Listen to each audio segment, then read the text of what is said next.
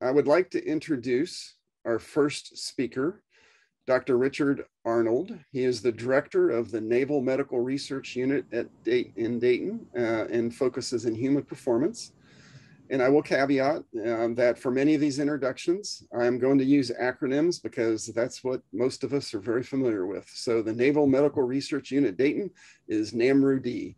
So Dr. Arnold leads a team of 75 scientists and technical staff in conducting research and development to address the challenges the aerospace environment presents to human health, safety, readiness, and performance. Before arriving at NAMRU-D as a staff scientist, Dr. Arnold served on active duty as a U.S. Naval aerospace experimental psychologist and subsequently owned and operated a small human performance consulting firm. He received his doctorate from the University of Texas, specializing in psychometrics and behavioral genetics. His research has focused principally on individual differences in personnel selection. So, Dr. Arnold, thank you for joining us today, and I'll turn it over to you. Thank you uh, very much, General Bartman. And uh, good morning, everyone. Uh, very happy to be with you today. Uh, I want to take the opportunity uh, first to tell you about uh, NAMRU Dayton and what we do and how we can work together. And I would imagine not many among you uh, know us or have possibly even heard of us. Um, the federal labs that participate in the OFRN, some are on a uh, you know a large scale. They have green signs on the interstate uh, guiding you to them.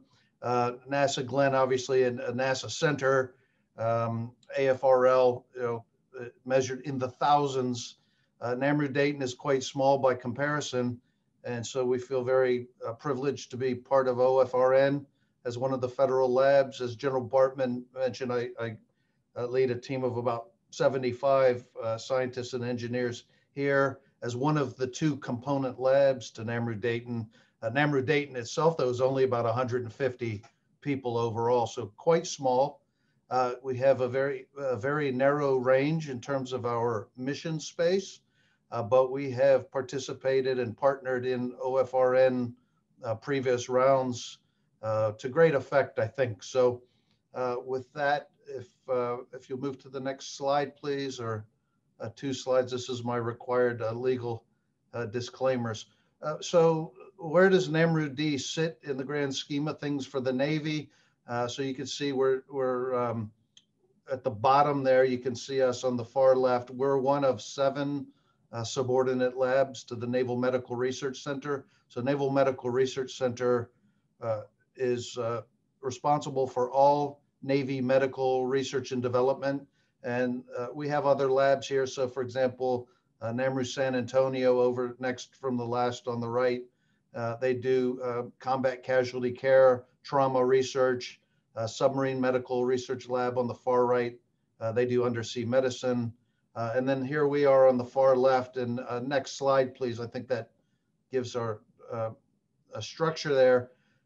we do research in aerospace medicine and environmental health effects.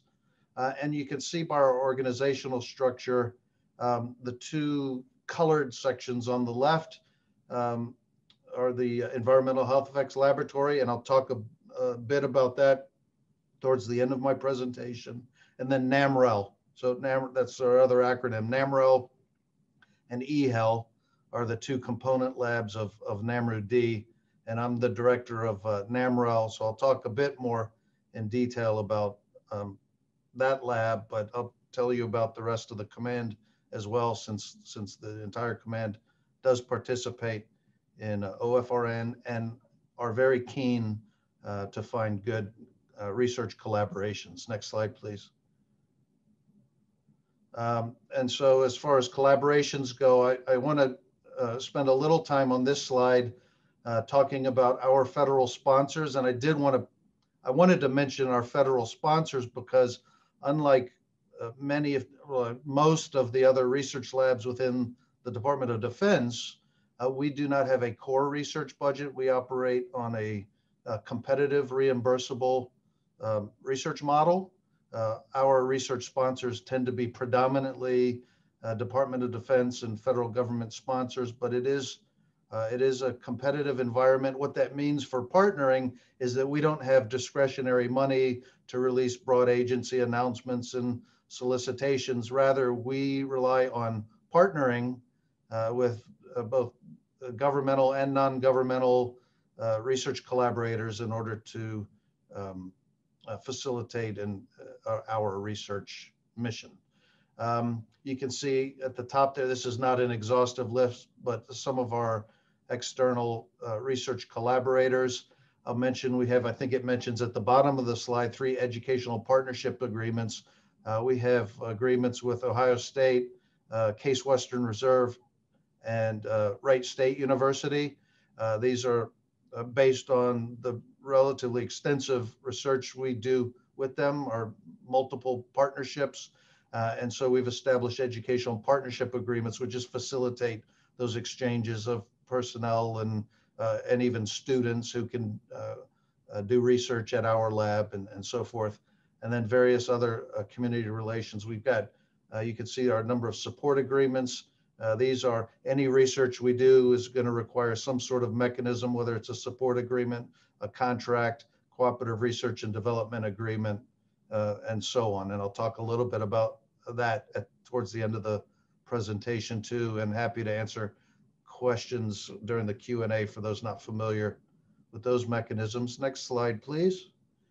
Um, mission overview. Uh, so I've already really alluded to the mission. We are in the game of uh, readiness, performance, and survivability of uh, warfighters, of service members uh, in the aerospace environment uh, for my lab, and then in the uh, environmental health effects more broadly, environmental exposures and effects on health and performance there for uh, the EHEL lab. Next slide, please.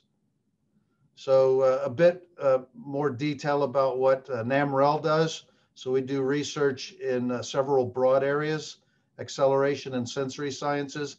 And I'd just like to, to note that uh, as far as human acceleration research, uh, not just NAMRU-D, but Wright-Patterson Air Force Base between our lab and AFRL has, I would say, arguably the world's uh, single top research site for doing human acceleration research. Uh, so I'll talk a, a, bit about our disorientation research device.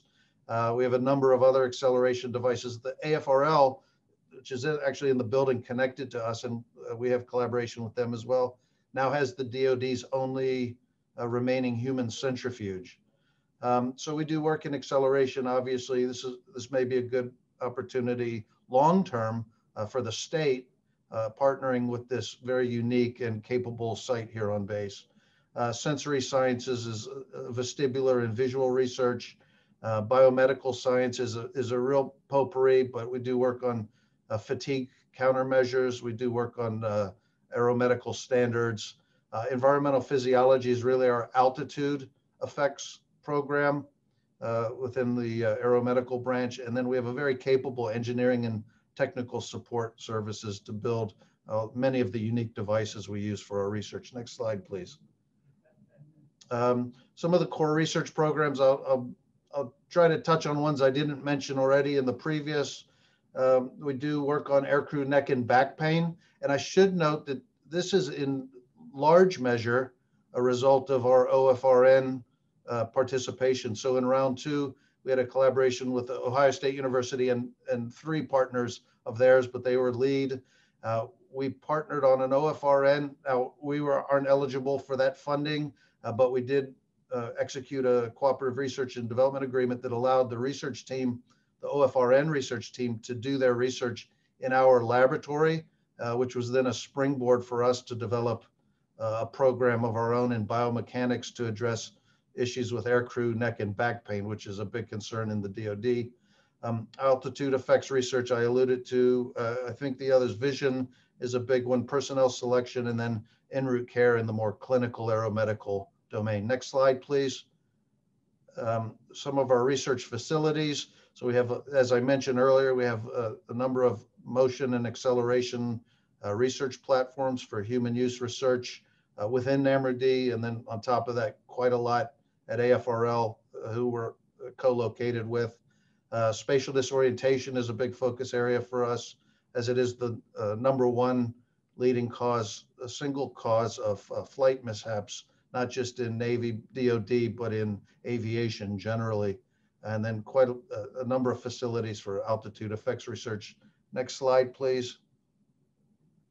Um, more of our uh, more of our research facilities. Uh, the OB lab, as it's known, this is our uh, uh, neck and back pain um, lab that I mentioned previously that was uh, in large part an outgrowth of uh, our OFRN collaboration. It's got a motion capture system, high precision motion capture um, for, for ergonomics and biomechanics. we have a sleep lab so we could do on-site uh, sleep deprivation research in order to evaluate effectiveness of countermeasures, um, so forth and so on. I, am I'm watching the clock here, so uh, let's go on to the next slide to make sure I get through them all at least. Um, I would be remiss if I didn't have a slide on just one of our devices. The disorientation research device, otherwise known as the Kraken, is, uh, I would say, the signature device of NAMRL and NAMRU-D. Uh, it's kind of our calling card, as it were. So this is a unique uh, capability within the Department of Defense, actually within the country, uh, for that matter. Uh, you can see in the photo there that capsule uh, rotates 360 degrees in three axes, yaw, pitch, and roll, uh, six feet vertically, 32 feet approximately horizontally, and then the entire device rotates uh, in the planetary axis about the device hall. Uh, the capsule can be configured as different vehicles or aircraft cockpits. It can be controlled from inside the capsule or by the experimenters if uh, for specific profiles. And this is, uh, in fact, our most recent, we're in discussion with NASA about possibly using this as a simulator for a lunar lander uh, for the for the uh, Artemis program. So um, fingers crossed that, that that will bear fruit, but we're doing uh, most of our research currently related to uh, either vestibular physiology or spatial disorientation in uh, aviation contexts. Next slide, please. Um, I mentioned the other lab, the Environmental Health Effects Lab.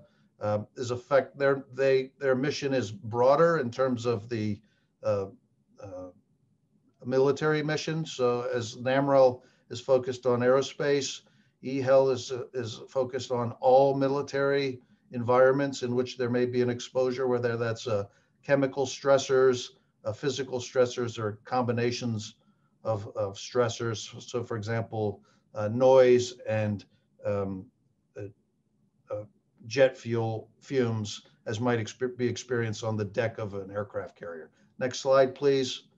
Uh, you can see the um, the core capabilities of the uh, Environmental Health Effects Laboratory, uh, just as NAMRL uh, is focused on um, aerospace medicine, uh, EHEL is focused on these environmental exposures.